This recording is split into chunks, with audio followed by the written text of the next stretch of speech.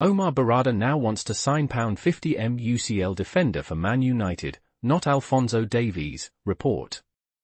Manchester United chief executive Omar Berrada is interested in signing AC Milan defender Theo Hernandez. New manager Ruben Amorim aims to strengthen the left wing-back position.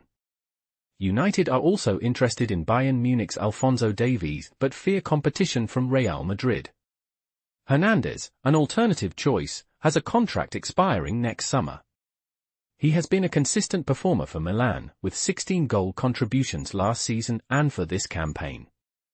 Hernandez is valued at £50 million, but United could negotiate a lower fee.